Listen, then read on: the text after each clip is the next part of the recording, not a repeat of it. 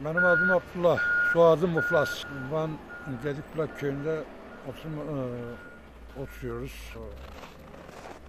Bizim şu an çalıştığımız bölge, e, bizim bölgemizde ilgilenen e, Tuşba Belediyesi. Evet. Ha, bu konuda onlardan memnunuz. Evet. Allah razı olsun. Genelde memnunuz. Evet. Adamlardan memnunuz. Yani bayağı da iyi çalışıyorlar. Allah razı olsun. Ben şimdiye kadar desem yok. Yanımızda değildi. Yani şimdiye kadar adamlar hep yanımızdaydı. Yani çalışmasaydı biz burada ne gezerdik? Dağda karı görüyorsunuz. Evet. Bir metre kar var şu an. Karı temizliyor. Adam burada olmasa ne kim temizleyecek? Evet, Vallahi Tuşba Belediyesi şu an çok güzel çalışıyoruz. Memnunuz. Allah razı olsun. Allah sizden razı olsun. Sizin de sizin de ekibinizde e, çok teşekkür ederim. Gedikbulak köyünde oturuyorum.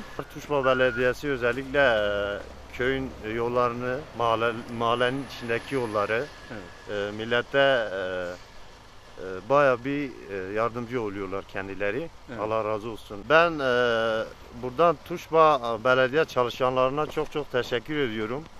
E, Sayın Belediye Başkanı e, Doçent Doktor Fevzi Özgökçe'ye de çok çok teşekkür ediyoruz. Çalışmalarından dolayı tekrar tekrar yine teşekkür ediyoruz.